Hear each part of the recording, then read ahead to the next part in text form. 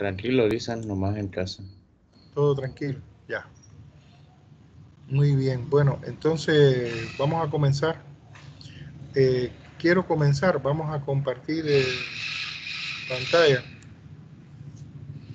Quiero comenzar por este PowerPoint sencillo para que veamos algunas cositas de lo que eh, ponderación y demás y un poco el sistema de trabajo para que lo, lo tengamos claro.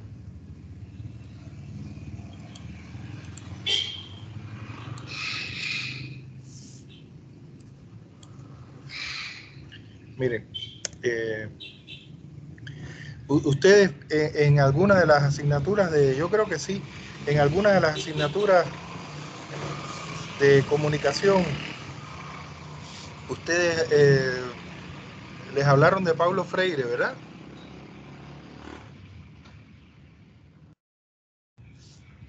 Sí, Lisa. Ya. Y, y Pablo Freire, que está considerado uno de los, de los de los pedagogos creadores del sistema y de los más importantes pedagogos de América y del mundo, sobre todo enfocado eh, hacia las clases más desfavorecidas, ¿verdad? Eh, por eso es que se habla de la pedagogía del oprimido. Eh, Freire creó un, sistema eh, para, en cierto modo, facilitar los procesos de enseñanza-aprendizaje, que él le llamaba a partir de palabras generadoras. Y era compartir eh, reflexiones y, poner eh, los procesos de enseñanza-aprendizaje bajo la vocación de determinadas palabras de una forma u otra iban a contribuir a, a trazar en cierto modo la línea, ¿no? la columna vertebral del proceso de, enseñanza-aprendizaje. Y bueno, yo no, yo no le digo palabras generadoras, pero sí palabras claves. Entonces, eh, yo voy a compartir con ustedes lo que considero seis, seis, palabras claves para que desarrollemos este curso de forma eficiente para todos, eficaz, eh, en el sentido incluso de su inversión y que además todo el mundo eh, cumpla sus expectativas. Y la primera es confianza. Es muy importante que generemos entre nosotros confianza. Eso me parece vital. De ustedes hacia mí, de mí hacia ustedes y entre ustedes. Porque eh, aquí lo que tenemos que lograr, y ya lo he dicho, es que todo el mundo salga con su perfil. Pero ya su perfil aprobado. Fíjense. Eh, ya, ya yo di los pasos necesarios con la jefa de carrera para coordinar cómo va a ser el trabajo. Eh, y yo creo que todo el mundo puede salir aquí con su perfil aprobado. Y si no es el primero, el segundo, pero todo el mundo tiene que, puede salir con su perfil aprobado. Yo creo que perfectamente, a partir de la experiencia que yo tengo, podemos aprobarlo desde de la primera. Porque yo lo puedo ayudar a conformar ese tema problema de tal forma que sea de interés de la, de la carrera. Entonces, eso, ese es el gran objetivo que nosotros tenemos. Y es tremendamente importante, eh, tremendamente importante que generemos confianza entre nosotros. Yo soy un profesor, si, ustedes han indagado, que brinda mucha confianza a sus estudiantes. Eh, desde el respeto que, que debe ser, brindo mucha confianza y trato de generar confianza entre ustedes. Y creo que aquí es muy importante porque eh, como el objetivo es que todo el mundo tenga su perfil, ustedes y, conmigo más nos podemos ayudar mutuamente en el sentido de, dar ideas y demás a, sus compañeros y de pensar también, ayudar a pensar también a sus compañeros. No es que cada cual solo se concentre en lo suyo. Entonces, esta es la primera clave que me parece tremendamente importante. Y esa imagen, aunque metafórica, ¿verdad? refleja eso de lo que estamos hablando. Este funambulista eh, o equilibrista eh, es capaz de poner su vida en las manos de, de esas personas que sostienen la cuerda. Físicamente esto es imposible, pero, pero bueno, es una metáfora de, la confianza. Muy bien, eh, la segunda es motivación. Y esto es muy importante. Ustedes tienen que estar motivados. eh, en el mundo en que vivimos eh, es muy difícil que, nos motiven externamente.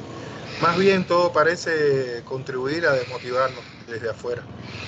Porque cuando se analiza la motivación desde la psicología y la sociología, la motivación tiene una dimensión externa y una dimensión interna. La externa es lo que viene de afuera y nos impulsa. Y la interna es lo que construimos nosotros a partir eh, de nuestra percepción de las cosas, los objetivos que nos trazamos, nuestros deseos, ¿verdad? Eh, nuestros intereses y demás. Y esta eh, segunda es la más importante. Nosotros tenemos que tratar de ser personas automotivadas. La persona automotivada es exitosa, porque no necesita que venga nadie a motivarlo, sino que todo el tiempo eh, está motivada a partir de esa motivación interna. Entonces es muy importante esto, que logremos estar motivados, ustedes estar motivados, automotivarse. Por mi parte van a tener todo el tiempo el apoyo y la, y la motivación externa y el estímulo, pero eh, eh, necesito ese porcentaje tan importante eh, que tiene que ver con ustedes. Yo creo que, hay un 40% de mi parte en el sentido de la motivación, pero hay un 60 de ustedes y ese 60 tienen que ponerlo para que eh, sea exitoso esto que vamos a hacer.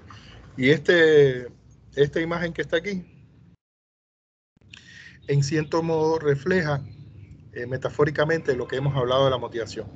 Ahí está, eh, uno puede interpretar en esta, en esta imagen del pececito la, las dos dimensiones de la motivación, la interna y la, y la externa. ¿Alguien puede hacerme una lectura de esta imagen así, en el sentido metafórico de la motivación?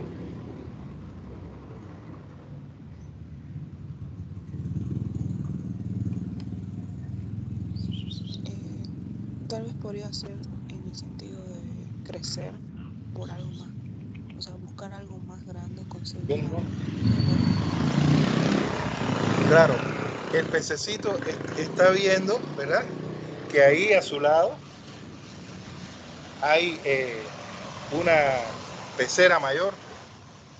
Estoy tratando de, de, de que venga alguien que, que está aquí. pero no viene, es una parada que, que, está aquí en el café que siempre me acompaña. Buen día.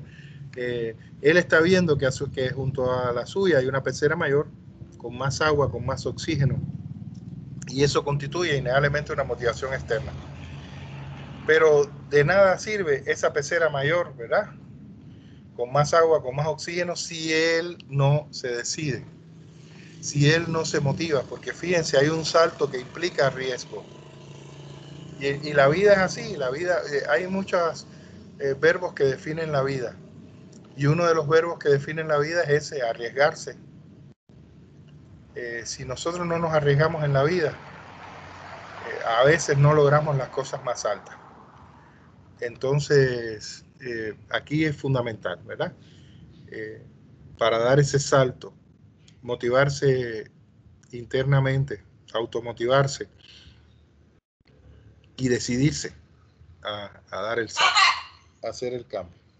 A ver si ven a la, a la, a la parada ahí. Miren. Déjenme alumbrar, eh, iluminarla. ¿La ven?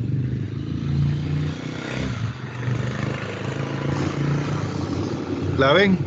Se ve, se ve una Se ve. sombra, por lo que está. Está oscuro, sí. Yo la, la estoy tratando de iluminar con, con, con la lamparita mía, pero... Luna se llama. Y a veces se me sube aquí en el hombro y está en la clase ahí subida en el en mi hombro.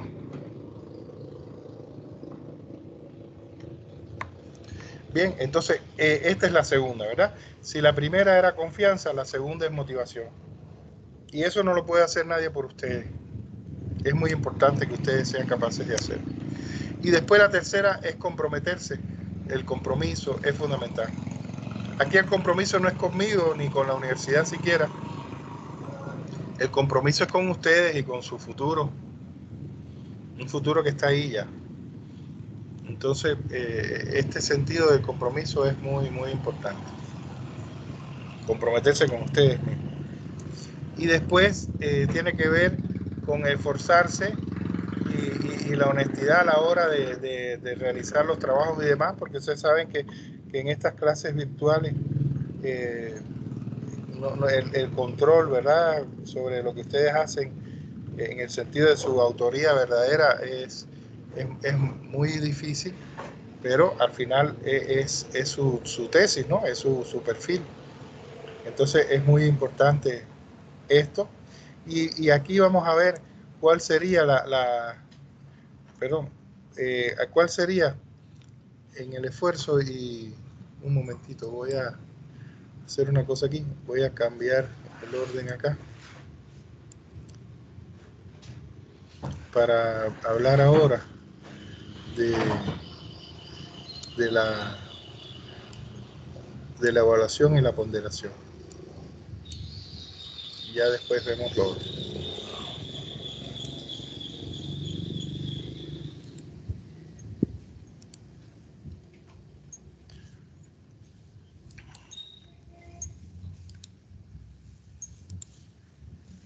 Pues bien, eh, si hablamos de esfuerzo y honestidad, veamos la cuestión de la evaluación y la ponderación para que ustedes lo tengan claro.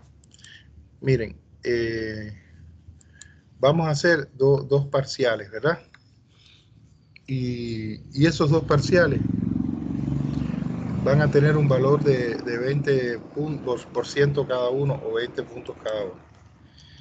Es importante. Aquí no yo no voy a hacer evaluaciones teóricas.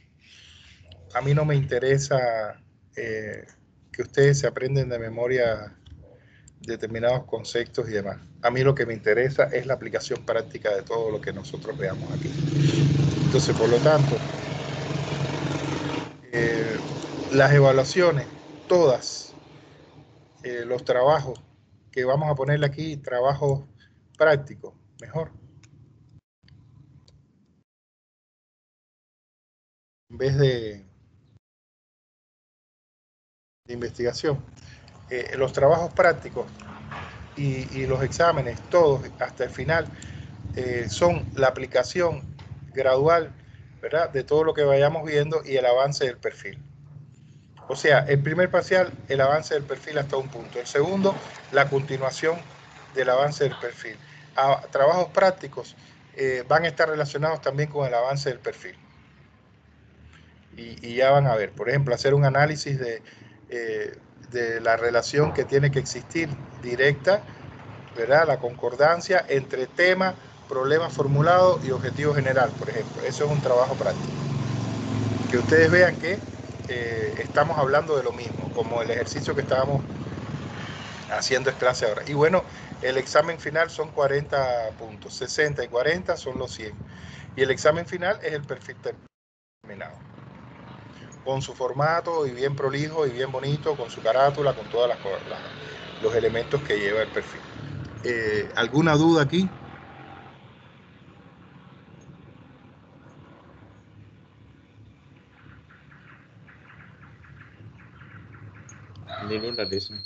Perfecto, genial. Bueno, ahora eh, vamos a, a ver la cuestión de las capacidades que me interesa conversar con ustedes esto. Eh, ¿quién me puede explicar eh, eh, con, algo que, tenga capacidad para hacer o con algo que sepa hacer muy bien, cualquiera de ustedes, qué cosa es una capacidad desde su, concepto, su criterio? No tiene por qué ser el, concepto aceptado universal, universalmente, pero que, me diga, me explique qué cosa es una capacidad a partir de algo que, que, que alguno de ustedes sepa hacer bien. A ver. Vamos, que están medio dormidos. ¿sí?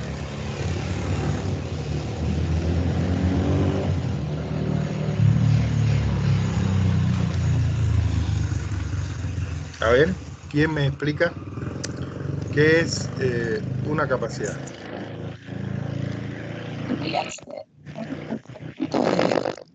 Hola, eh, el audio se oye. ¿Quién me habla? Se, se oye el audio co- como enrarecido, sí.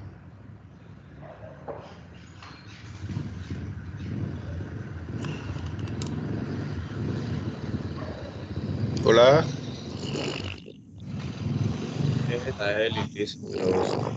siempre.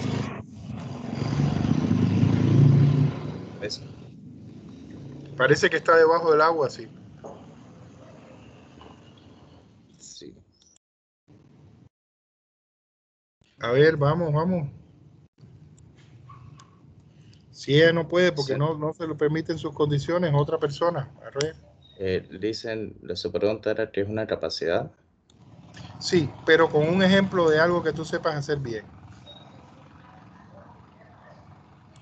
Eh, bueno, la capacidad de hacer algo, bueno, pues usted ya lo dijo, algo que uno sabe hacer bien en comparación a otras personas. Por ejemplo, yo puedo ser bueno para, para acomodar las cosas, ser ordenado, bueno, el primer ejemplo que se me está viniendo. Sin embargo, hay otras personas que, que no tienen esa capacidad y manejan toda su vida en desorden. Claro, la capacidad para organizarse, organizar. Y eso tiene que ver, entonces, desde este punto de vista, eh, la capacidad puede ser desde lo más sencillo, ¿verdad? Desde la actividad más sencilla hasta la actividad más compleja, ¿no? Así es. Y en el campo de la comunicación social, ¿qué es lo que mejor se te da a ti?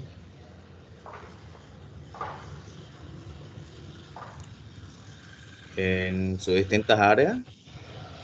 Sí, en, la comunicación en general, ¿qué, qué, qué, qué cosa se te da a ti mejor?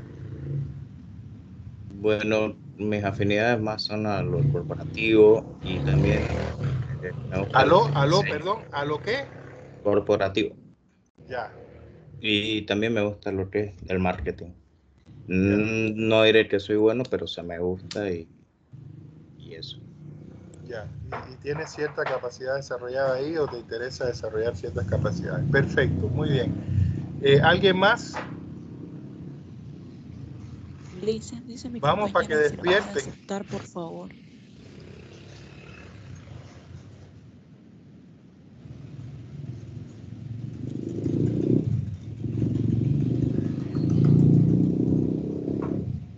No tengo a nadie en la... No tengo a nadie en...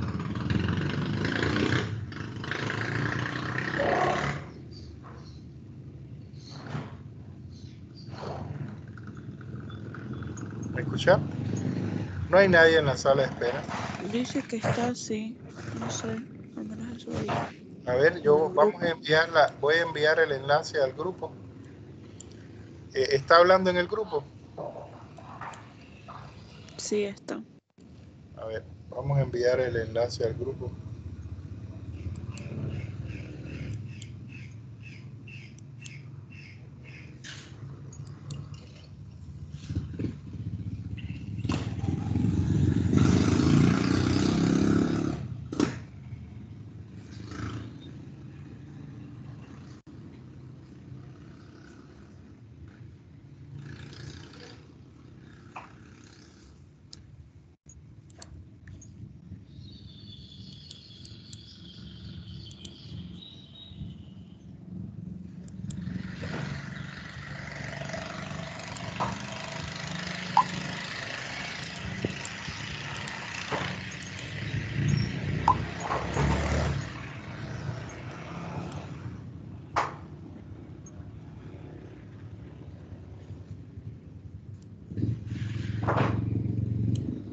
Ya envié el enlace al grupo.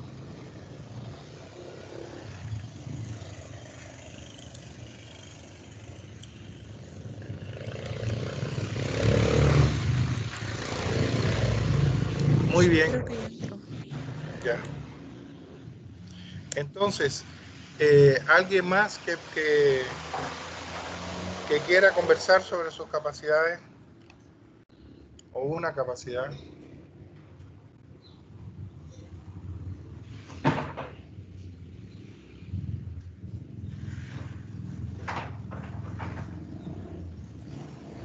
Nadie más. Bueno, eh, ¿quién era el, joven que estaba conversando conmigo sobre la capacidad para marketing y, la dimensión corporativa de la comunicación? ¿Quién era? Ignacio. Ya, Ignacio, mira, eh, a ver, eh, aquí hay una cosa que quiero que, conversemos. Si, si estamos hablando, digamos, eh, una capacidad para eh, la cuestión del marketing desde la comunicación. ¿Qué cosa es clave para poder desarrollar, eh, o qué tú crees que es clave para poder desarrollar esta capacidad? ¿Cuáles, son los, ¿Cuáles serían los cuatro elementos clave para poder desarrollar esta, esta capacidad? bueno, creo yo que primero sería... A ver, uno primero, uno primero, sí. Eh, ver y analizar las competencias del mercado. Por ejemplo, si voy a trabajar con una sí, pero mira, a ver, yo no estoy diciendo para poder eh, desarrollar un plan de marketing, por ejemplo, o una estrategia de marketing. Yo estoy diciendo para poder descubrir y desarrollar esta capacidad. ¿Qué es lo primero o con qué tiene que contar uno en primer lugar? Ah, ya, ya.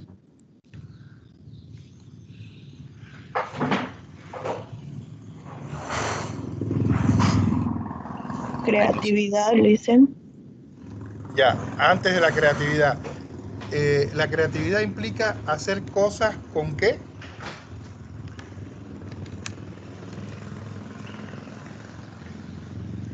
La creatividad implica generar propuestas, ¿verdad? O sea, ver, eh, ver elementos donde otros no los ven, incluso problemas a resolver donde otros no los ven.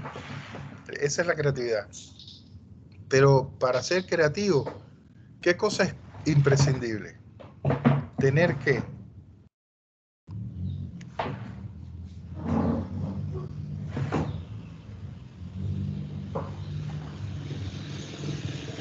¿No será esto?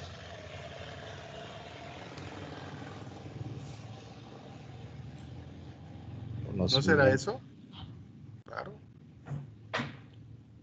Piensen ustedes, ¿En qué capacidad pueden desarrollar ustedes si no tienen conocimiento sobre eso?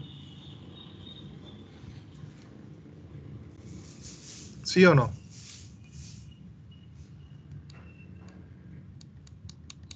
Sí, dicen. Claro. Es la base del desarrollo de cualquier capacidad, los conocimientos.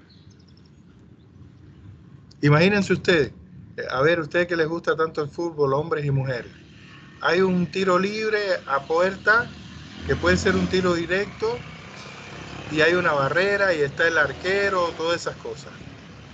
Y, el futbolista pone la pelota. ¿Qué, qué, conocimiento tiene que tener él para, para poder eh, tratar de meter ese gol? A ver.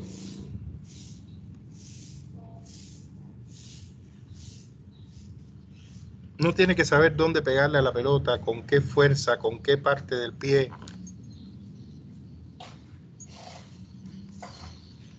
Buscando qué ángulo. ¿Es o no? Sí, dicen. Y hay variantes también que pueden mover eso. Por ejemplo, el viento, que a veces el viento está en contra y uno necesita más fuerza para... ¿Te das cuenta? Entonces, todos esos conocimientos son claves para que diga, no, él la, mete siempre, él, mete el gol de 10 veces, 7 las mete. Ah, pero es por eso, por una serie de conocimientos que él maneja y que es capaz de integrar a la hora de tomar decisiones. Pero eso está unido a esto.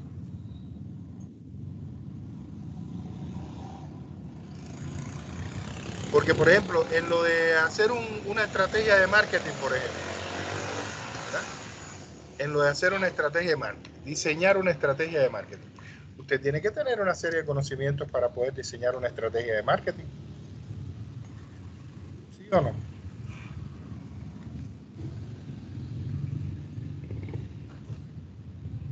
Sí, listo.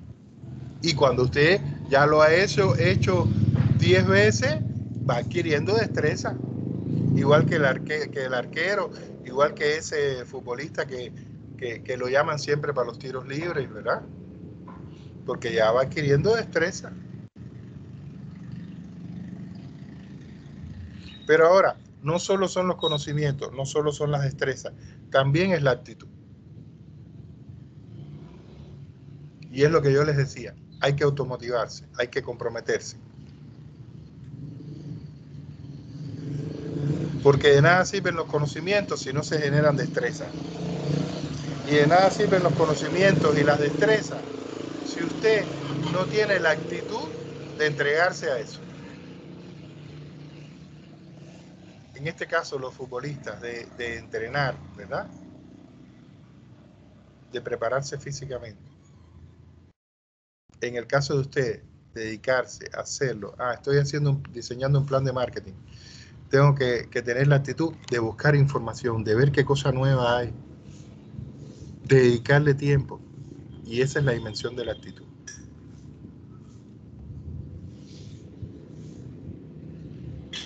¿Verdad? Sí.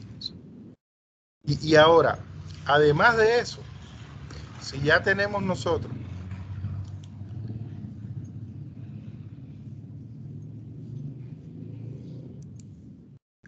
si ya tenemos nosotros lo que sería los conocimientos, las destrezas y las actitudes, nos falta entonces una cuarta. Y esa cuarta, ¿cuál es? Y muy importante en el mundo en el que nosotros, en el que nosotros vivimos. Esa cuarta, ¿verdad? Tenemos los conocimientos, tenemos las destrezas, tenemos las actitudes y nos falta una cuarta. ¿Y cuál es esa cuarta? La calidad. Lo cualitativo. Para que eso que hacemos tenga la más alta calidad. Entonces, cuando se habla de, de que alguien tiene una gran capacidad, es porque tiene la confluencia de conocimientos, destrezas, actitud y calidad en lo que hace. Y tenemos que tratar de que lo que vamos a hacer aquí en esta asignatura eh, tenga esas características. Y aquí confluyen varios tipos de conocimientos. Primero, los conocimientos que tienen que ver con, con su carrera y con las diferentes asignaturas que ustedes han desarrollado. Después, ¿verdad? Las destrezas, en el sentido de ser capaz, ¿verdad?, de integrar todo eso, de integrar ese conocimiento, todos esos elementos de conocimiento, las diferentes asignaturas. Y la actitud para entregarle tiempo, para comprometerse, para trabajar, para leer, para buscar información.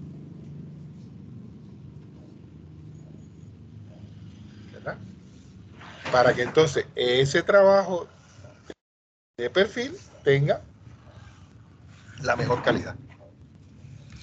Eso sería. Esos son los cuatro elementos de una capacidad. Bien. Bien, jóvenes. Sí, Liz. Sí, Liz. Perfecto. Vamos entonces a, ir más allá. Entonces, ¿cómo vamos a trabajar? Miren, ¿cuál va a ser nuestra metodología?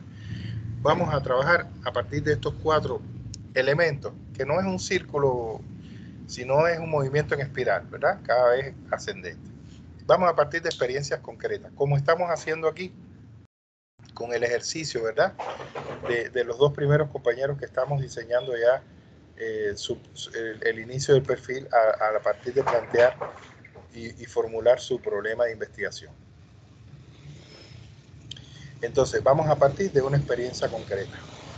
Y esa experiencia concreta nos va a permitir reflexionar, conceptualizar y aplicar. Entonces, así vamos a trabajar todo, todo el perfil, con modelos, algunos modelos que yo le traigo, yo siempre le voy a traer un modelo y a partir de ese modelo, vamos a ejercitar con alguno de los perfiles de ustedes y entonces ahí vamos eh, desarrollando el perfil, en cada uno de los elementos del perfil, de forma gradual. ¿Está claro? ¿Alguna eh, aclaración con respecto a este proceso? Por eso es aprendizaje por experiencia, ¿se dan cuenta? O aprendizaje experiencial. Es la mejor forma. Desde los griegos, la mejor forma de aprender es a partir de modelos. ¿Alguna duda? ¿Algo que quieran esclarecer? Hola. No, Lisa, está claro. ¿Está claro? Perfecto. Bueno, entonces la quinta clave es eh, eh, ocultar. ¿Alguien sabe cómo se llama ese, ese, ese instrumento? Ese instrumento que, que se ve ahí.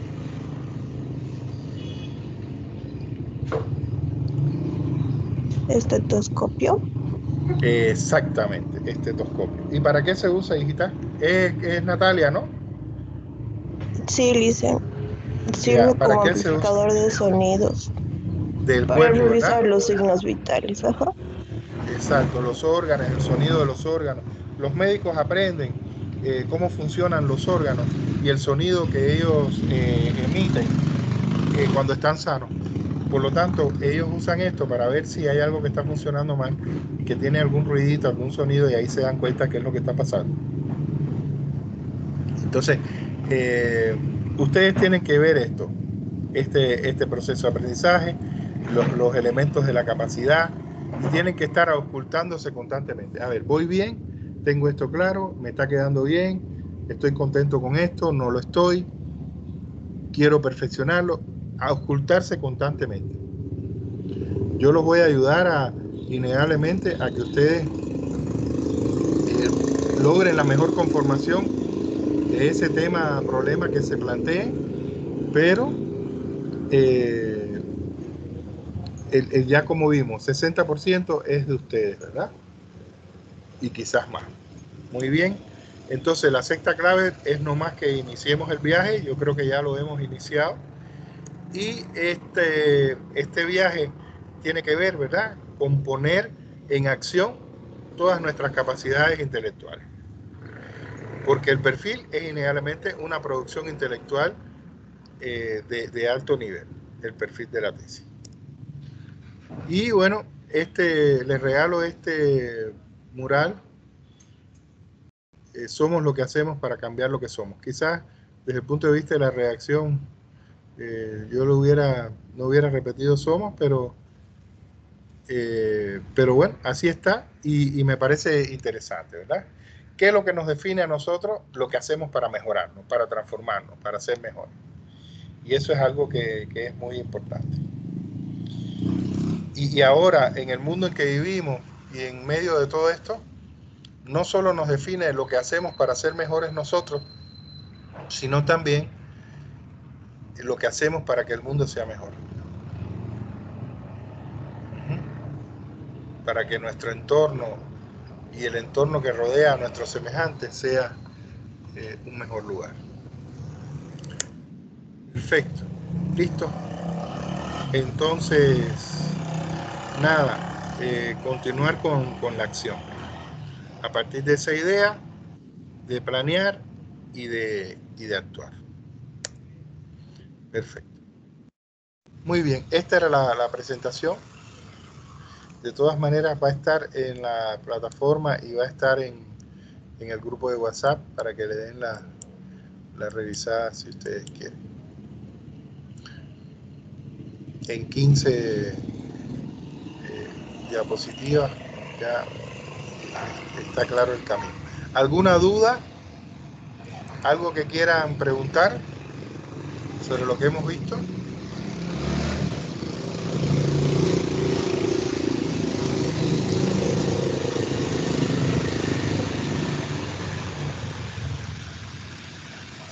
¿No? ¿Nada? ¿Me escucha? No, creo no. que no. Ahora sí, ahora sí te escucho, ahora sí te escucho. Dime. Hola. Le decía que creo que está claro todo. Genial, perfecto, muy bien. Es que a lo mejor hablaste antes de abrir el micrófono. Muy bien, entonces... Eh, ya está claro. Me alegro.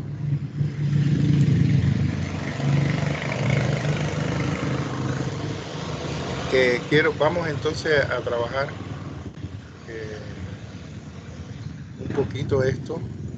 Quiero eh, un, poco que estemos, que tengamos claro lo que tiene que ver con las con la investigación que potencialmente podemos desarrollar acá en, nuestra en nuestra asignatura. Para que veamos un poco lo que ya nosotros hemos hecho de, de investigación en anteriores, en anteriores asignaturas.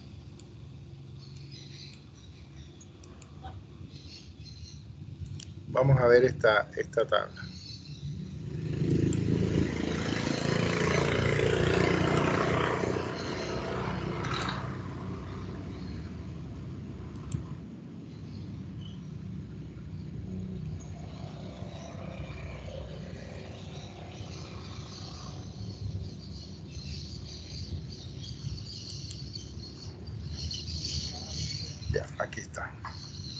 Miren, ustedes, eh, la línea de, la investigación, de las asignaturas de investigación, comenzó con expresión oral y escrita. O sea, el Instituto de Investigación de la ANUR eh, tiene estas asignaturas que son asignaturas para todas las carreras, transversales a todas las carreras, y que comienzan con expresión oral y escrita, continúan con investigación 1 y después con investigación 2. En el caso de ustedes, hacen métodos de investigación en comunicación. Ya ustedes hicieron esto, ¿verdad? Esta, esta asignatura que es previa a, este taller. Lo hicieron, ¿verdad? Sí, eso. Ya, métodos de investigación en, investigación en comunicación. Y por último, este taller de grado, seminario de tesis y demás. Entonces, miren, aquí ustedes tienen los dos tipos de investigación que van a usar eh, en este en su, en su tesis y en la elaboración de, su, no tanto de su perfil, pero sí de su perfil para plantearlo, ¿verdad? Pero sí en la elaboración ya de su tesis. Eh, la investigación documental. ¿Alguien recuerda la investigación documental? ¿De qué estamos hablando cuando decimos investigación documental? Hoy están apagados, sí. Es, la, es la investigación recolectada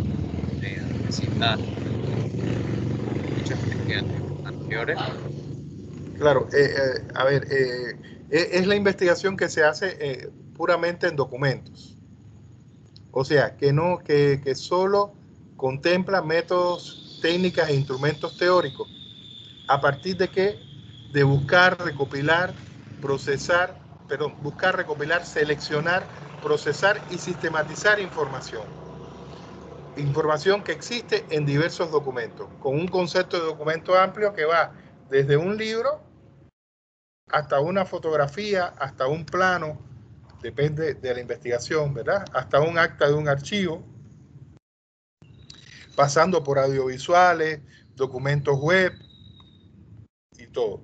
Todo soporte de información es documento.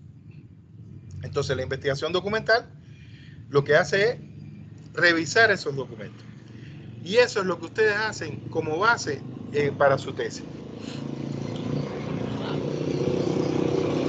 ¿Por qué? Porque usted elige el tema, su problema, hay que investigar sobre eso. ¿Qué información hay sobre eso? Es lo primero. Entonces, por eso, y estamos aquí en dos columnas, investigación documental e investigación empírica o de campo. Entonces, la investigación documental es eminentemente teórica porque está en el plano de la revisión documental, que es incluso su método principal. Ahora, cuando hablamos de investigación, parece que Ignacio es el único que está en clase y, Natalia. eh, cuando hablamos de investigación empírica o de campo, ¿de qué estamos hablando? Si no mal recuerdo, es cuando uno va a realizar entrevistas, datos personales, o sea, que va físicamente va recolectando las personas, eh, la información en personas que bien conocen del tema, que son especialistas. Genial, bien Ignacio, eso, eso es. Lo que hace falta que ustedes ya logren es expresar con los términos. La investigación empírica de campo es aquella investigación que usa métodos, técnicas e instrumentos empíricos para recopilar y procesar la información, que implica que usted ya interactúa con personas y grupos de personas en determinados contextos. Siendo estas personas o grupos de personas, ¿verdad? Imprescindibles para recabar la información que usted necesita. Por eso son informantes clave o son participantes de algún proceso o son expertos, como tú dices. Y entonces, ¿qué se hace con ellos? Diferentes técnicas para qué? E instrumentos para recabar información. Entrevistas, encuestas. Pueden usarse también técnicas participativas para observar determinados fenómenos si es un trabajo con un determinado grupo, grupos focales, ¿verdad? ¿Qué son las técnicas? Las técnicas empíricas. Cuando hablamos de empiria es de la práctica. Por eso la investigación documental, y, miremos aquí, en la columna izquierda, es teórica. Aunque lo que usted investigue sea de la práctica. ¿Por qué es teórica? Porque usted se va a limitar solo a documentos y la investigación empírica o de campo, ¿verdad? Ya es una investigación mixta. ¿Por qué? Porque mezcla lo teórico que usted ha obtenido en su investigación documental con la información que ha obtenido de la realidad y de la interacción con las personas. ¿Hasta ahí me estoy explicando bien? Sí, sí. Ya. Entonces, la documental, por ejemplo, ¿A qué se limita? Al procesamiento de información contenida en documentos, o sea, fuentes documentales, siendo los documentos, como ya dijimos, cualquier soporte de información. Libros, periódicos, revistas, tanto físicos como virtuales, fuentes auditivas, una entrevista grabada, ¿verdad? Audiovisuales, un video, un documental, una película, fuentes virtuales, un documento que está en internet, en un sitio web o está digitalizado. Iconográficas, fotografías, ¿verdad? Imágenes, mapas, registros de archivos, todo. Todo lo que eh, pueda, eh, toda la información que pueda estar contenida en cualquier tipo de soporte. Mientras que la investigación empírica de campo o de campo, el procesamiento de la información mezcla las dos.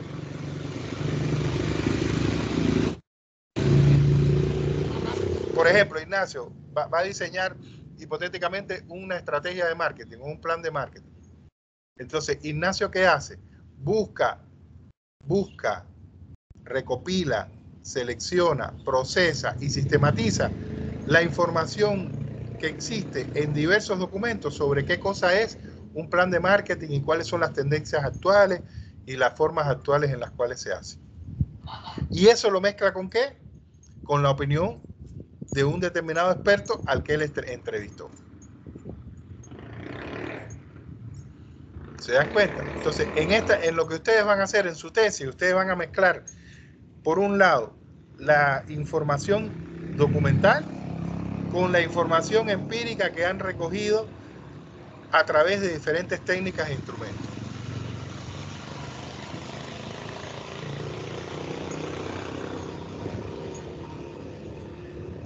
Una, eh, si hago una pregunta, eh, la técnica es la entrevista, por ejemplo. ¿Cuál es el instrumento de la entrevista? Porque toda técnica tiene su instrumento.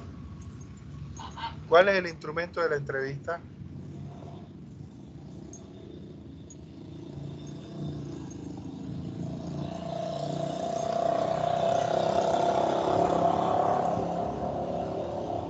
¿Quién me dice? Que recopila la información y los dos elementos. ¿A través de qué? Serían el, el instrumento y el entrevistado. No, no. O sea, eso digamos sería el proceso quizás metodológico de cómo realizar la entrevista. Pero usted tiene un método, por ejemplo. El método es observación, que implica observar de diferentes formas y procesar la realidad que estamos investigando. El método de observación. La técnica es la entrevista. El instrumento de la entrevista, ¿cuál es? Señora, ya ustedes van a ser comunicadores. La, la conversación, las preguntas. El cuestionario. El cuestionario.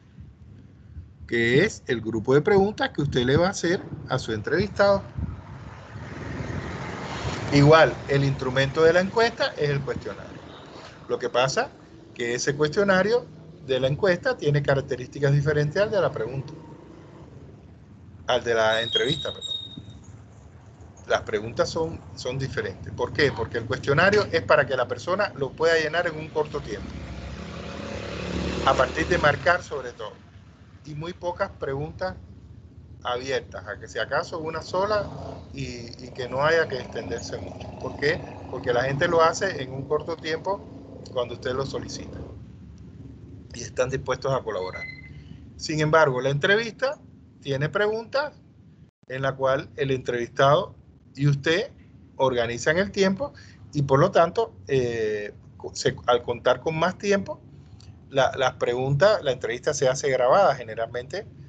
Eh, usted la hace grabada, lo puede hacer ahora por Zoom o, eh, o enviarle el cuestionario por correo electrónico, por WhatsApp, y la persona responde en el documento y se lo reenvía. Entonces, por lo tanto, las preguntas de la entrevista son, son diferentes, están estructuradas de forma diferente, porque los procesos eh, de interacción entre el entrevistado y el, entrevista, entre el entrevistador y el entrevistado y entre el encuestador y los encuestados son diferentes. Ahora, si pregunto, ¿cuántos tipos de entrevistas existen? ¿Cuántos tipos de entrevistas ustedes conocen y cuáles son? ¿Qué me dicen?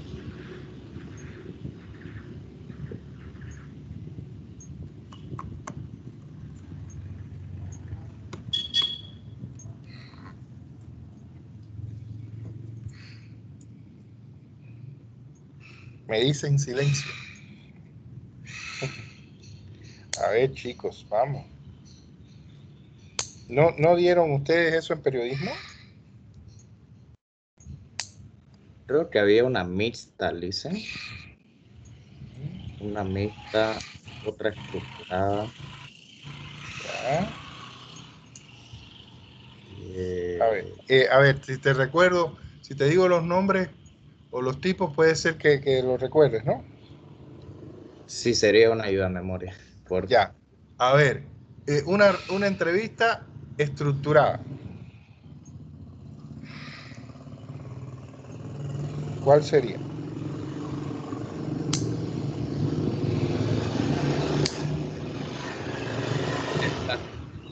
creo que es la que va teniendo a continuación las preguntas, ¿no? O sea, si comienzo con la pregunta A que tiene el sentido, bueno, que tiene un sentido y continúo con la pregunta B, va a ir en relación a la primera pregunta y así sucesivamente según el avance de todo el escenario que tengamos preparado. Claro, o sea, eh, desde el punto de vista eh, metodológico, conceptual, las entrevistas estructuradas tienen bien claro y bien preciso todas las preguntas que se van a hacer. Y el, y el investigador o entrevistador no se sale de esas preguntas. Por eso muchas veces las entrevistas eh, estructuradas eh, se envían, eh, los cuestionarios se envían por, por, WhatsApp o por internet para que la persona las conteste y, la, y devuelva, ¿verdad? y devuelve el cuestionario lleno. Esas son las, las entrevistas estructuradas, que tiene una limitación. La limitación es que la persona va a contestar eso generalmente es una relación que, es indirecta y entonces por lo tanto ya después que el hombre contestó, si tú quieres alguna aclaración, ya es tremendamente difícil obtener esa aclaración. Porque ya la respuesta está ahí, ¿verdad? En, el cuestionario lleno. Ahora, la segunda eh, forma de entrevista es la semiestructurada. ¿Cuál sería eso, Ignacio? ¿Te acuerdas? Semiestructurada. Digo Ignacio porque ya eh, prácticamente es el único que está aquí en la clase interactuando. ¿Cuál sería? La es igual que la mixta. Ajá, ¿cómo es entonces? Es, algunas preguntas son las predeterminadas y otras son más espontáneas y abiertas. Claro, y, surgen a partir de la respuesta que te va dando, ¿no? Ajá. Que el entrevistado te va dando. El entrevistado responde algo y tú dices, ah, un momentito. Y entonces tal cosa, esa pregunta tú no la tenías prevista. Pero a partir de la respuesta que te da, tú decides incorporarla. Así, ¿verdad?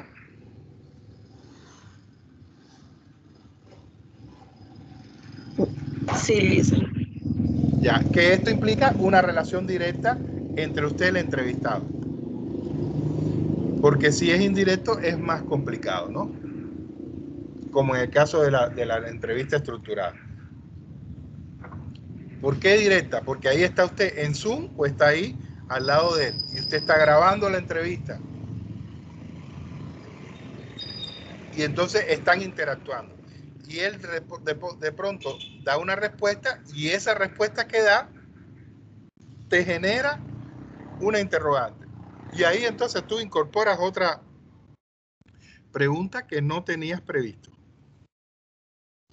Y que surgió a partir de lo que él respondió. Así, ¿no, Natalia? Sí, Lice. Perfecto. Y la no estructurada. Porque tenemos estructurada, semiestructurada o mixta. ¿Y cuál sería la no estructurada? Es la que tiene preguntas. La que es improvisada. No, no tanto la que es improvisada, sino. Si no es una entrevista abierta. Exacto, muy abierta, en la cual usted quizás tiene la idea de los temas, pero no, no tiene elaborado un cuestionario preciso si no tiene más bien los universos temáticos que quiere que, la persona eh, le responda. Esto se usa más bien cuando usted quiere que alguien le, cuente una experiencia determinada. Y entonces eh, no quiere cortarlo con preguntas y quiere más bien dejar que la persona se explaye, hable, cuente. Entonces, esta entrevista no estructurada eh, no quiere decir que usted no, que, usted no la estructure. Usted la estructura, pero usted la estructura por grandes grupos de contenido. Imagínense que usted está haciendo un, un, estudio para recuperar la memoria de una comunidad en el sentido de su fundación y demás, todo eso y entonces usted eh, tiene ahí a uno de los, de, los de, las personas mayores, ancianos, que fundaron ese pueblo hace, hace años. Entonces usted, en vez de preguntarle, de, hacerle un cuestionario y, e írselo eh, preguntando en una detrás de otra, como una entrevista semiestructurada, usted le dice, cuénteme, cuénteme, don Anselmo, ¿cuándo fue, cómo fue que se fundó el pueblo? ¿Cómo fue que usted llegó? ¿O cómo fue que vinieron todos y se organizaron para venir a fundar el pueblo? A ver, cuénteme, recuerde eso. ¿Se dan cuenta? Entonces, ya, y él empieza y va a contar y usted trata de interrumpirlo lo menos posible. Y lo interrumpe nada más, y solamente para hacer precisiones. ¿Y esto en qué año fue? ¿Y usted se recuerda más o menos sobre qué meses, qué mes fue esto, en qué mes, de qué mes estamos hablando? O sea, de eso. E, ese es el, tipo de entrevista eh, no estructurada. ¿Hasta aquí? ¿Estamos bien? Sí. Y esto es muy, Muy importante que tengan esto en cuenta porque ustedes ahora, cuando tengan su tesis, van a tener que hacer entrevistas. Y eso tienen que tenerlo claro. Bien, ya, de acuerdo a la información que necesito y a la característica de la persona, qué tipo de entrevista voy a hacer. Perfecto. Vamos entonces eh, aquí a la tercera línea. Eh, aquí entonces, ¿qué tenemos? Las fuentes de información de la investigación documental son fuentes documentales, ya eso lo sabemos. Fuentes primarias, secundarias y, terciarias. ¿Recuerdan ustedes la diferenciación entre primarias, eh, secundarias y terciarias?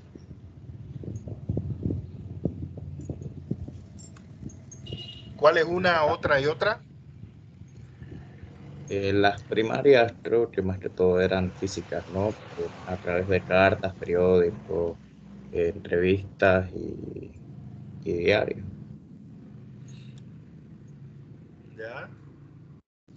¿Y la secundaria?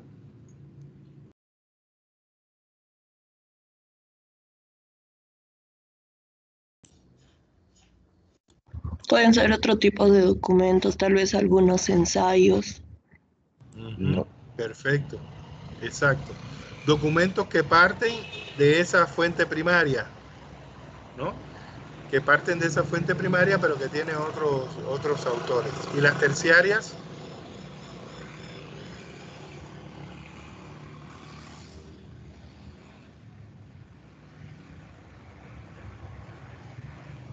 Diccionarios. Las terciarias son diccionarios, enciclopedias, manuales, este tipo de, documentos. Entonces, para, para precisar, imagínense que usted está haciendo un estudio sobre la eh, ley de imprenta. Yo no sé si todavía la ley de imprenta es lo único que existe o ya hicieron una ley de, en el universo de la comunicación o seguimos con la ley de imprenta de esa de los años 20. ¿Sí sigue así o ya cambió eso? ¿Saben ustedes si ha habido cambios? Creo que sigue siendo Alicia nomás la de imprenta. Imagínense usted. Entonces, eh, imagínense que usted va a hacer un estudio sobre, para demostrar la absoluta desactualización de la ley de imprenta. Y cómo la ley de imprenta ya eh, no puede regular la nueva realidad de la comunicación en Bolivia. Entonces, eh, bien, ¿cuál sería la fuente primaria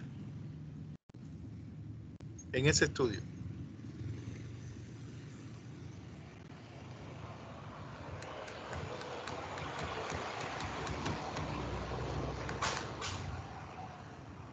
¿No sería la ley de imprenta en sí? La fuente primaria. Sí, Esa sería la fuente primaria. La ley de imprenta, que es sobre la que yo voy a realizar el estudio. Ahora, ¿cuáles serían las fuentes secundarias? Entrevistas, artículos y todo documento que tenga información sobre la ley de imprenta, análisis crítico, visiones, lo que sea. ¿Verdad?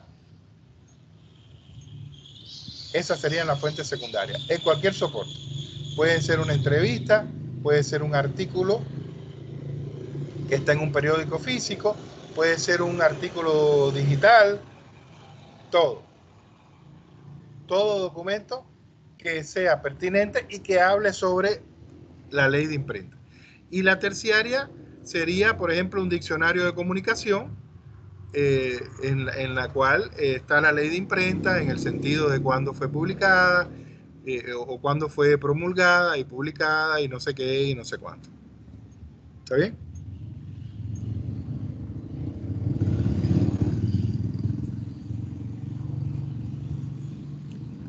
Entonces, eso es en la investigación documental, que también ustedes van a hacer lógicamente.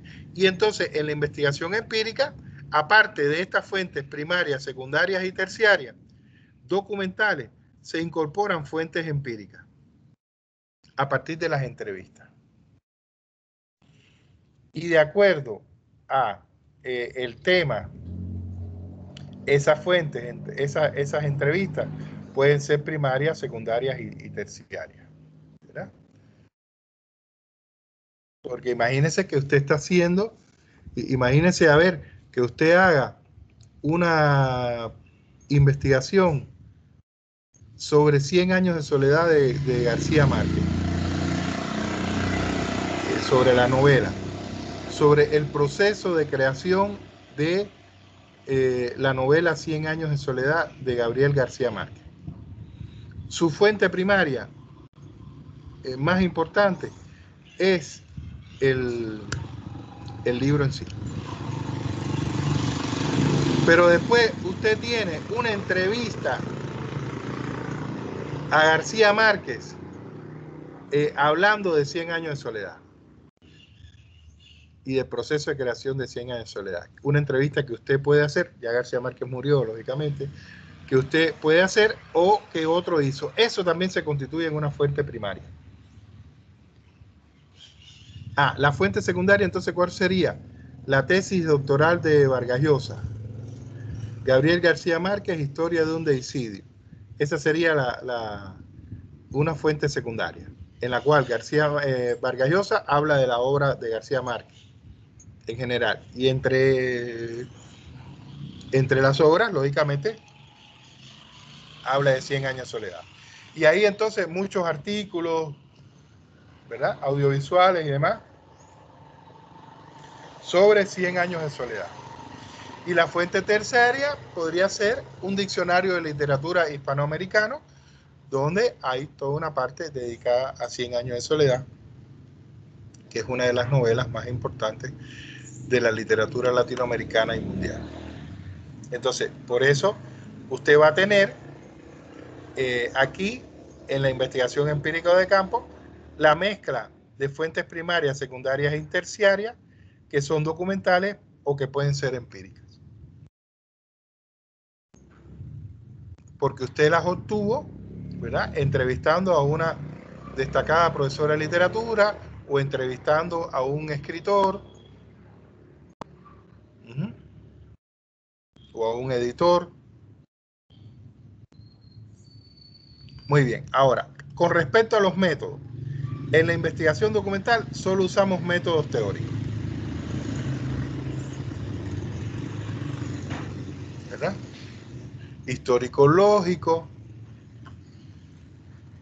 por ejemplo, sistémico, y en métodos, técnicas e instrumentos de la investigación empírica usamos métodos teóricos, métodos técnicos e instrumentos teóricos, pero también empíricos. Ambos. Porque recuerden, antes de comenzar mi investigación de campo, yo tengo que realizar mi investigación documental para tener clara toda la información que necesito. Ahora, el método principal de la investigación documental es el análisis documental. ¿Cuáles son sus técnicas? La búsqueda, recopilación, selección, procesamiento y sistematización de la información. ¿Y cuáles son los instrumentos? Las fichas de investigación. ¿Ustedes en alguna de las asignaturas de investigación hicieron fichas? Por ejemplo, una fichita donde ustedes copiaban la cita textual que querían poner en su, en su trabajo, en su artículo o, o en su ensayo. ¿Hicieron eso? Sí. Ya. Sí. Entonces, esos son los instrumentos, ¿verdad? Las técnicas, búsqueda, recopilación, selección, procesamiento y sistematización de la información. Una técnica para buscar en- en- a partir de, de Google Académico, de los buscadores y demás. Una técnica para ir recopilando la información, identificando y recopilando la información que les sirve o que en un primer momento consideran que les sirve y después una revisión de eso para seleccionar y después ya procesar. Ir organizando por carpeta la información. Ah, aquí tengo los artículos que hablan de esto y aquí los que hablan de aquello. ir procesando y después sistematizando, haciendo resúmenes, extrayendo citas interesantes que puede usar o no después en su tesis. Ese es el análisis documental. Como dice, análisis de documentos. Ahora, con respecto a, métodos técnicos e instrumentos teóricos y empíricos, el método principal es el, aparte, el teórico es el análisis documental, pero también apoyado por otros métodos teóricos, en dependencia de la investigación, como puede ser el histórico lógico o el sistémico, y por procesos lógicos. Esto lo vamos a, ver para que ustedes sepan hacer esto. Análisis y síntesis, concreción, abstracción, inducción, deducción. Y ya eh, el principal método, esto está mal aquí, empírico.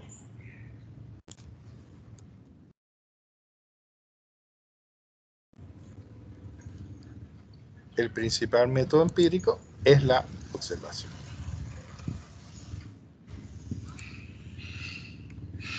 ¿Verdad? Y las técnicas, entrevista, encuesta, observación en sí, que puede ser observación participante, no participante. ¿Ustedes eh, aprendieron a hacer eso? Observación, participante, no participante. Eh, ¿Han oído o, o lo hicieron en alguna de las asignaturas?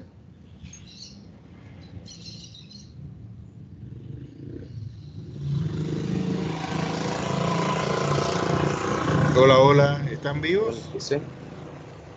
Ya. La observación eh, participante es cuando usted eh, observa lo que está pasando, un grupo de personas, pero interactuando con ellos, ¿verdad? Usted interactúa.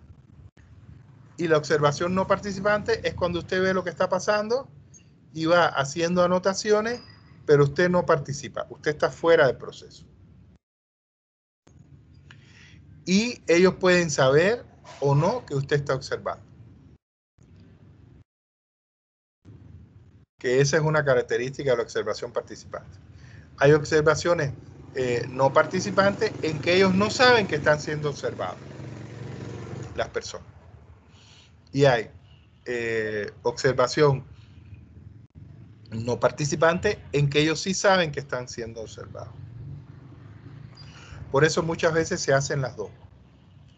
Primero se hace eh, la observación en que ellos no saben que están siendo observados y se comportan de forma natural, y después se hace la observación en la que ellos saben que están siendo observados para ver qué, qué cambio se produce, a partir de que ellos saben que están siendo observados. Bien, hasta ahí, ¿estamos bien? Entonces, este sería eh, un resumen de las diferencias, ¿verdad? entre la investigación documental teórica y la investigación de campo empírica. ¿Alguna duda, algo que quieran saber eh, pensando en su proceso de tesis, en la elaboración del perfil? ¿Algo que quieran saber?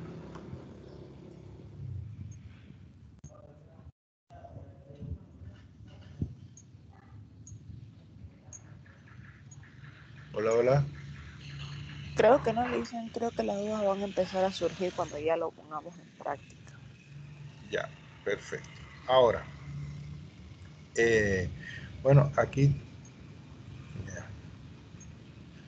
claro, el- los resultados de la investigación documental se presentan a partir de un artículo científico y en, y en la empírica a partir de un artículo científico o un informe de investigación.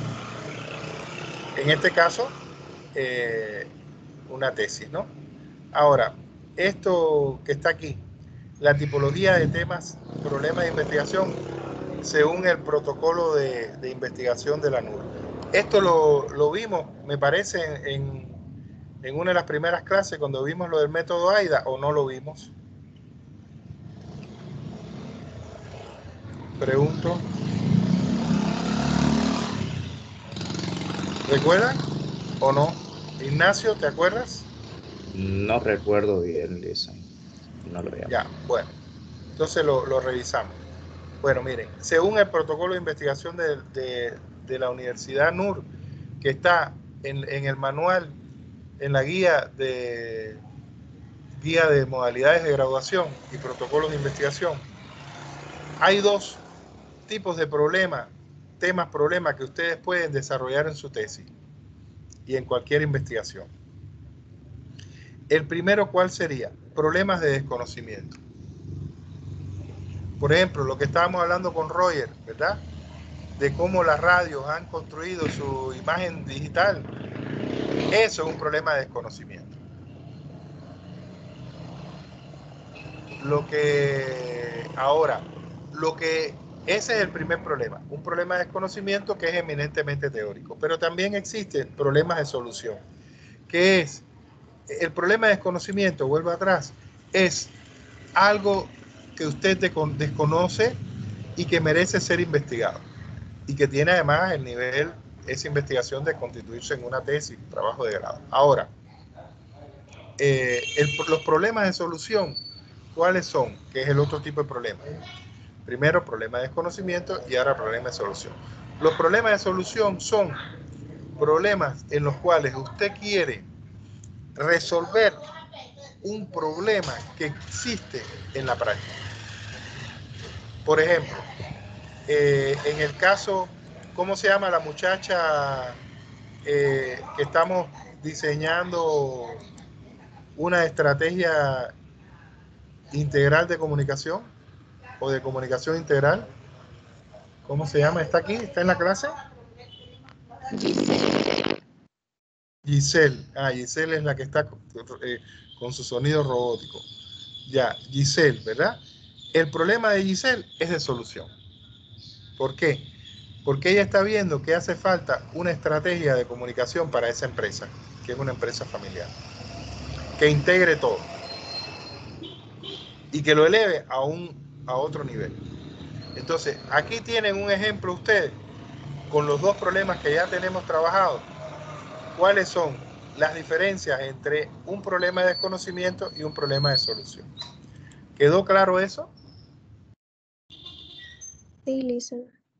Entonces, a la hora de ustedes ir pensando ya en su tema, los otros que no, que no lo han, eh, no hemos empezado a formular, formularlo, ya tienen que pensar, ¿me interesa un problema de desconocimiento o un problema de solución?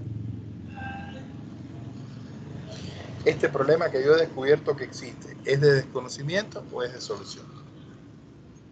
Bien, perfecto. Y bueno, eh, tenemos aquí eh, ya, ya nosotros hemos hecho cuatro, ¿sí, no? Eh, cuatro, digo, perdón, dos, dos temas. Vamos a salir de este documento y vamos a entrar en eh, el documento en el que estamos trabajando.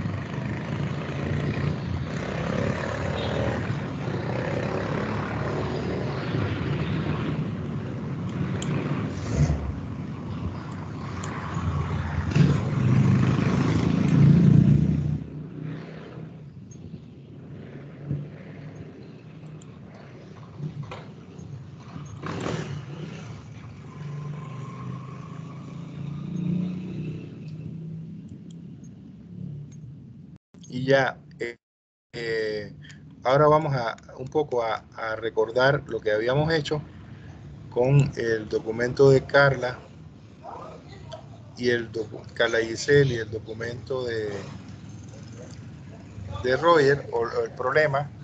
Y eh, ya después la clase que es próxima la vamos a, dedicar íntegramente a plantearnos lo que sería otros temas, acercarnos a otros temas de, ustedes.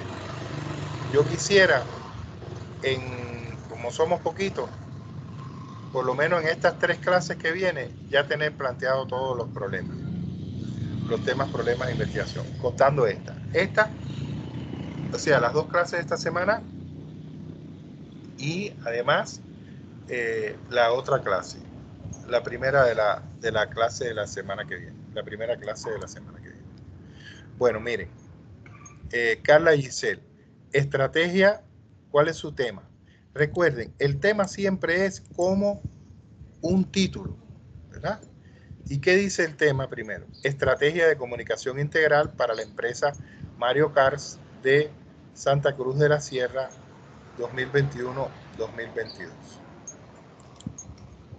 Que es el año en que esta estrategia eh, debe presentarse ¿no? como tesis. Ahora, formulación de problema. ¿Cómo sería la estrategia de comunicación integral para la empresa Mario Kart de Santa Cruz de la Sierra? Y el objetivo general sería explicar la estrategia de comunicación integral para la empresa Mario Kart de Santa Cruz de la Sierra.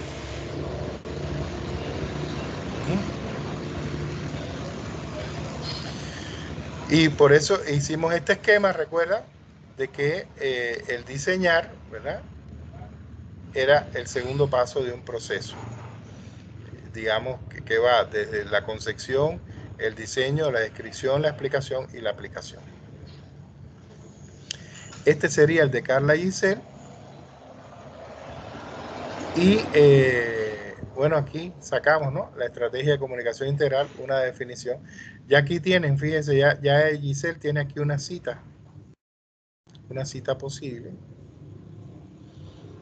Y aquí entonces eh, vemos el de Roger.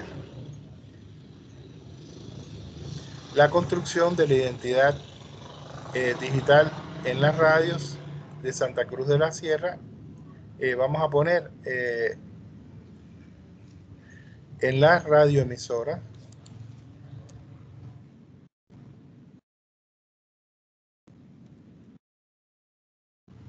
de Santa Cruz de la Sierra, Bolivia. Estudio los casos de la radioemisora Santa Radio Santa Cruz, Marítima 100.9 y Radio Atlántica.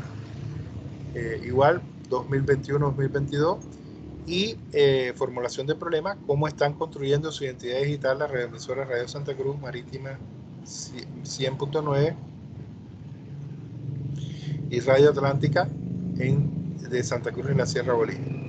Y eh, el objetivo general es, eh, vamos a cambiar aquí, Roger, ¿estás ahí? Sí, listo. Vamos a ponerte a escribir. Escribir el proceso de construcción de la identidad digital en la radioemisora Radio Santa Cruz, Marítima 100.9 y Radio Atlántica. A ver, eh, eh, querido Roger, yo, eh, a ver, tú, tú me querías, vamos a aprovechar, tenemos un tiempito, son las 39, eh, la clase termina a las 9, podemos entonces eh, trabajar contigo y así los demás van también enriqueciéndose de, de lo que hagamos. Le mandé un documento a su WhatsApp, Sí, es de la Universidad de Piura de esa, de, de, de Perú, de Perú. Sí. ya, Y en este documento hablan específicamente de la creación de una identidad digital para un medio tradicional y toman el caso del tiempo, que es un periódico. ya. Interesante. Entonces, eh, ahí tú tienes un documento, eh, modelo, con respecto a la creación, ¿no? De, de imagen digital, lo que en este caso de un periódico, ¿no? Entonces, eso te sirve para sacar un poco eh, las líneas ¿no? generales de los elementos que hay que tener en cuenta eh, en el proceso, ¿no? Sirve así. Eh, Sí, por ejemplo, el, el documento menciona primeramente la introducción, pero eso se lo hace al finalizar. De ahí continúa con los antecedentes, con la historia de este periódico, con el contexto de organi- de organización del periódico. Y ya hay como un subpunto, toma el panorama, que es como Ya. una historia desde qué año, cómo fue evolucionando, en qué tiempo nació el periódico, cuántas personas habían en dicho país cuando se distribuyó el periódico, Ujú, y ya de ahí los aportes y la trayectoria que tuvo el periódico. Ya. Perfecto. Entonces, eso te permite a ti eh, trazar, digamos, un mapa de los elementos que tienen que tener en cuenta la, el medio de comunicación, en, esta, en este caso la radio, para eh, construir su, su imagen digital, ¿verdad? Desde su historia hasta eh, características, ¿no? Que tienen que ver con, con ya los procesos productivos radiales, ¿no? Me parece bien. Ahora, sería bueno encontrar un, un documento similar para una radio, sí. Eso estaba buscando, pero no encontré. Y, y- y entraste al Google Académico a ver qué, qué había. Ajá, igual entré a Google Académico, pero me salen, por ejemplo, más investigaciones de televisión o así como este de alguna prensa escrita. Ya, pero quizás las de televisión eh, también te permitan. O sea, a ver, miren, cuando ustedes eh, busquen eh, pensando en recopilar, muchas veces no hay exactamente lo que uno quiere, pero ahí viene la capacidad de integrar, ¿verdad?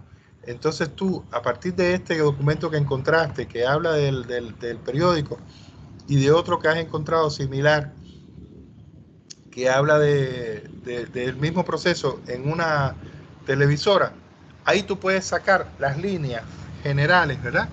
De los elementos que habría que tener en cuenta. Y aunque no exista, tú puedes construirlo a partir de, en tu marco teórico, lo puedes construir a partir de estos dos referentes. ¿Me explico? Sí, Lisa. Ya. Ahora mira, eh, estuve hablando con, con la gente de con la gente de, Radio Santa Cruz, yo no he podido comunicarme, pero sí me comuniqué con, con gente en marítima y me comuniqué con también mis antiguos antiguos estudiantes de, teatro que, que tienen programas ahí en Radio Atlántica. Y, y en Radio Atlántica, déjame ver si está anotado aquí. Eh, en Radio Atlántica me dijeron que- que- que la radio no está en esa onda. Que hay otras radios, como habíamos pensado, ¿te acuerdas que dijimos? Las radios juveniles, ¿te acuerdas? Sí, por ejemplo, mi compañera Adeli me brindó el contacto de una de sus amigas, así como que lejana, que trabaja en Radio Mix. Me pasó el número, por eso era la que le decía que, ¿qué le puedo preguntar a ella? Honestamente, primero le explico la identidad digital en general, luego la identidad en medios de comunicación, y de ahí le pregunto si ellos están trabajando este tipo de identidad. Claro, si están trabajando en ese- redes sociales. Exacto. Y, y también eh, eh, trabaja con el concepto de ciberradio, ¿no? Ciberradio, ¿no? Que es otro concepto que se maneja eh, en, este, en este tipo de, de, de radioemisoras, ¿no? Eh, La, la ci- ciberradio. Eh, déjame ver, déjame buscar aquí. Y entonces hablé en Marítima y me dieron el teléfono del, del- de lo que sería el director general y, y ya puedes llamarlo para, para citar una entrevista que puede ser, no sé si física o lo haces con, por, por WhatsApp, que ahí te pones de acuerdo con él. Eh, Marítima tiene una característica interesante, según me estaba contando Gloria eh, la, la locutora, la señora que es la voz emblemática de ahí, eh, Gloria Morales, ella me estaba contando que la radio ya no tiene programas propios y programación propia y una estructura así como antes eran las radios, sino que la radio lo que hace es alquilar la frecuencia y los horarios. Entonces tú vas con tu equipo, tu equipo de trabajo, todas tus cosas y haces ahí tu programa y le pagas a la radio. Pero no es eh, de la radio, ¿comprendes? Sí, lo entiendo.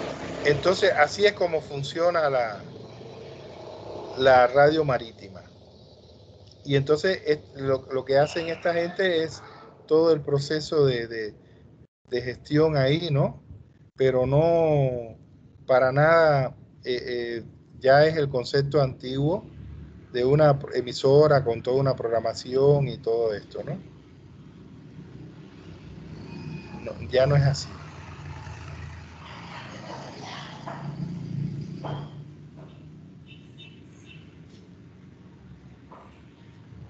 Y entonces quiero ver eh, si ella me puso aquí.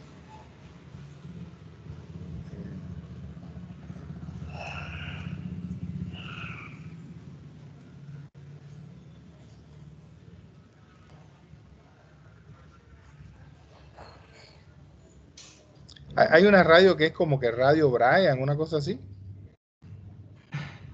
Igual, si es muy urgente. Me... Eh, eh, ¿Conocen? Una cosa así? Radio Brian. Sí, Brian o algo así. Bueno, eh, Ni idea, ya. Entonces, mira, e- estos son los datos, los voy a escribir aquí de, de Radio Marítima. Yo pienso que aquí tú lo cambiarías. A ver, esto que está aquí, la construcción de la identidad digital en la radioemisora de Santa Cruz de la Sierra, Bolivia. Estudio de los casos de las radioemisoras, ¿ya? Esto tú lo mantienes. Vamos a ponerlo en amarillo. Perdón. Esto tú lo mantienes. Y esto lo puedes cambiar. Lo que está en verde. Y poner ahí la que tú consideres. ¿Está bien? Roger. Ya, Lison, ¿por qué estás buscando igual de contactos de radio donde Claro, claro. programación juvenil? Y Exacto. como también le decía una vez, mi compañera Delia estuvo trabajando en una radio, pero me dijo que el programa era el único programa juvenil y todos eran personas mayores. Ya ves. Entonces a lo mejor no, no, no están en esa onda. Ya ahí ya tú lo ves y, y, qué, qué- cuáles serían las radios que las radios que valga vale la pena porque aquí sí es muy importante que tú pongas las radios que realmente están en proceso o han construido su identidad, ¿no?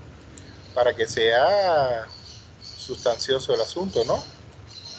Pero, por ejemplo, al momento de tener una construcción de identidad por parte de alguna emisora de radio, se refiere a la implementación que ellos tuvieron, ya sea en páginas web, que se crearon su página web, Exacto. y redes ¿Cómo lo están sociales. haciendo? Exacto, ¿cómo lo están haciendo? ¿Cómo lo están haciendo? Incluso, en la, como son tres, tú puedes hacer una comparación entre cómo lo está haciendo una, la otra, o cómo lo hizo, ¿no? Y ahí, por ejemplo, si ya tú tienes varias radios, tú puedes decir, ah, voy a, a tener dos radios que ya lo han hecho y una que está en proceso de hacerlo, por ejemplo. Ya, ya depende de ti, ¿no? Ya, Alison, está bien.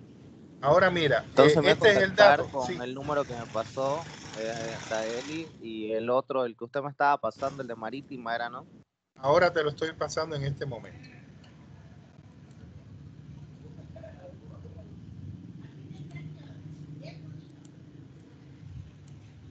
Estoy viendo igual cómo consigue el contacto de Radio Disney. Ah, ya. Yo creo que sí, que esas tienen más posibilidades. Entonces ya tú ves, trata de conseguir dos radios que ya tengan su imagen y que estén en la onda ciberradio y, y también eh, una que esté en proceso. ¿Podrías hablarle a Paola Araúz? Este, ella eh, trabajaba en Radio Disney. No la conozco.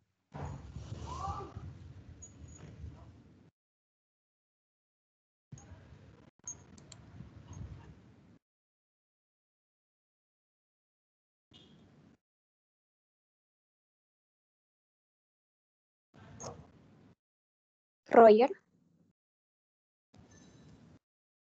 Sí. ¿Podrías hablarle a Paola Araúz, que ella trabajaba en Disney? En Radio Disney. Pero te digo, no, no, no sé quién es.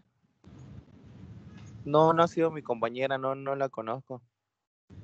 Es la actual presentadora de Unitel. Dale, yo te paso tu Instagram.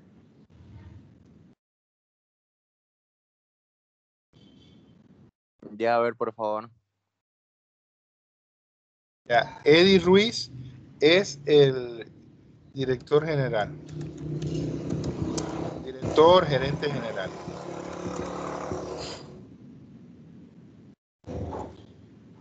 Y eh, su teléfono es 347, me dieron teléfono de la 0808.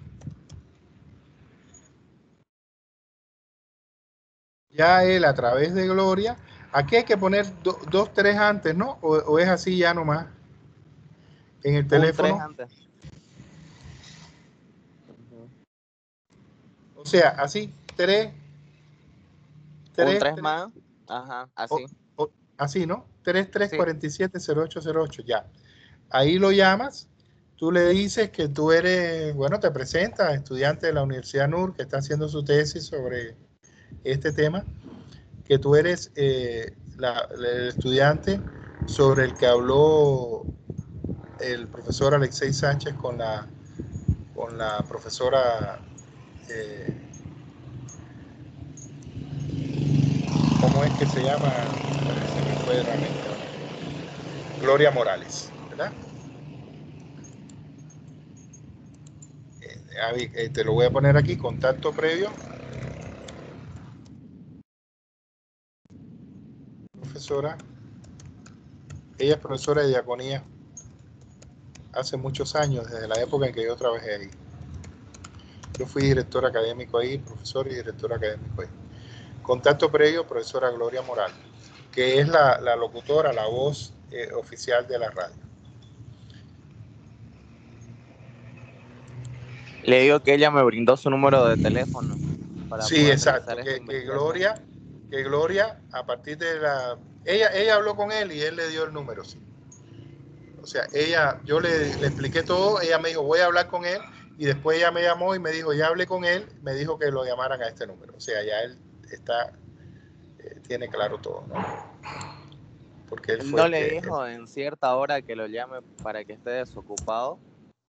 No, llámalo en horario de oficina, porque me imagino que él está ahí en la radio,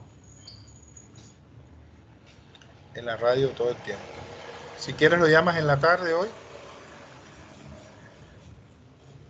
Me imagino que, si en caso de que no esté, alguien te va a decir, alguien va a salir al teléfono y te va a decir en qué horario y todas esas cosas. Entonces, Listen, ¿qué posibles preguntas le puedo hacer o directamente que me cuente la implementación de cómo ellos están trabajando su identidad digital actualmente? Sí, sí, por ejemplo, a ver, eh, ahí podría ser eh, hoy, eh, ahora en la próxima clase vamos a ver dos cosas que son vitales para que, hagamos esto, que es algo que ustedes aprendieron a hacer, eh, que es, a, ver si recuerdan, el árbol de problemas, ¿se acuerdan? Sí. Entonces, en la tarde vamos a aprender a hacer el árbol de problemas y las preguntas de investigación, que son, que son fundamentales aquí. Entonces, por ejemplo, mira, eh, ahí qué cosa es. Eh, su, concepto, por ejemplo, preguntarle, ¿ustedes están construyendo, están construyendo en la emisora una identidad digital entendida como esto, esto? Ahí le explica, ¿no? La, la identidad digital, según yo tengo entendido o considero, es tal cosa. ¿Ustedes están trabajando en esto, por ejemplo? ¿Cuál es la concepción, por ejemplo, que tienen de identidad digital?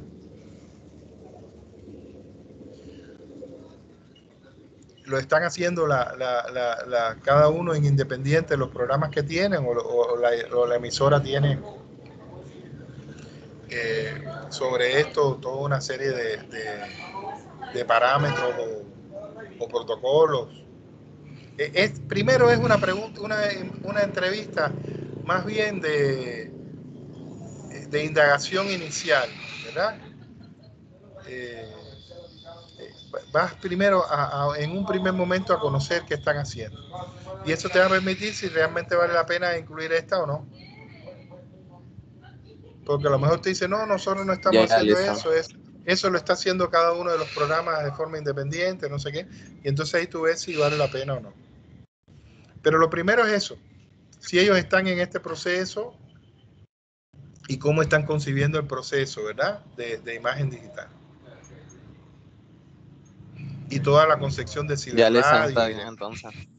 Por ahí sería la cosa. Les voy a llamar ahora en la tarde.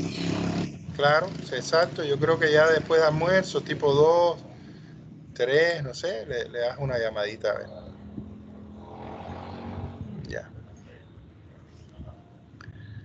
Muy bien, entonces ahora en la en la próxima en, en la próxima hora vamos a seguir trabajando los temas problemas de investigación y con algunos de estos ejemplos Así que prepárense los que no, no han formulado para que los ayude a formular su problema y, a encontrarlo. ¿Está bien?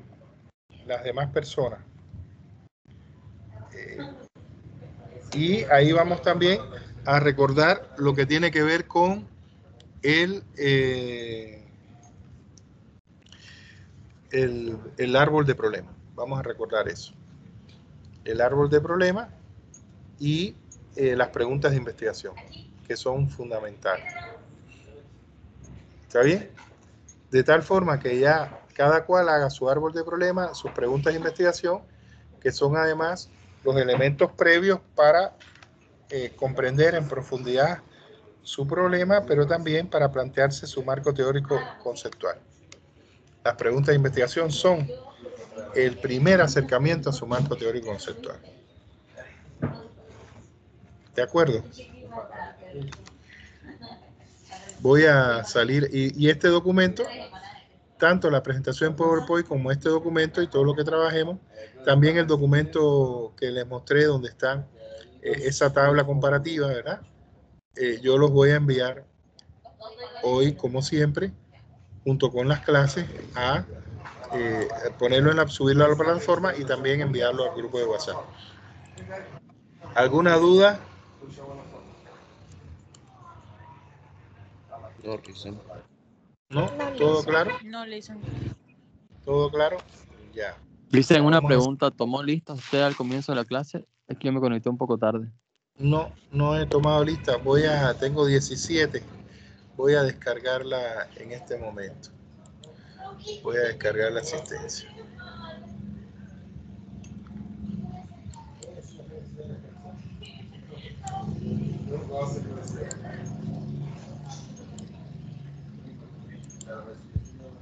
Que no da opción.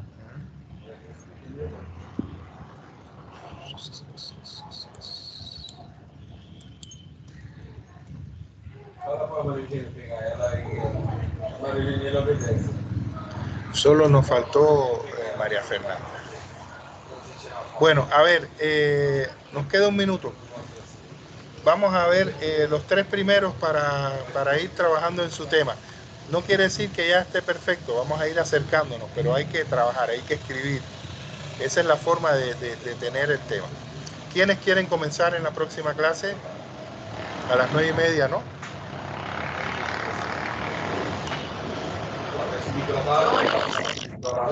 Ya. Daeli, pero tu, tu, tu audio está muy malo, así que tienes que tratar de resolver eso.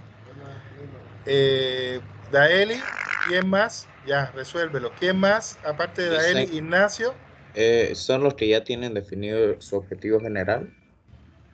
No, o sea, estos serían hacer lo mismo que ya te hemos hecho con Roger. Ah, ya entonces. y con Giselle. Entonces, Daeli, Ignacio y después quién? Yo, Lisa. ¿Quién, quién me habló? A Abigail. Ya, Abigail. Exacto, en ese orden. Daeli, Ignacio, Abigail, ¿quién más? Flavia. Yo, Lisa Marisol. Flavia y Marisol. Así, vayan poniéndose en el orden. Exacto, nos va a dar tiempo perfectamente a hacer, a hacer varios. Listo, entonces nos vemos, son las 9 y 1, nos vemos a las y 31. ¿Está bien? Así es, ¿verdad? Ya, aprovechen para desayunar si no han desayunado. Gracias. ¿Sí? Listo, nos vemos entonces 9 y 31. Chao, chao.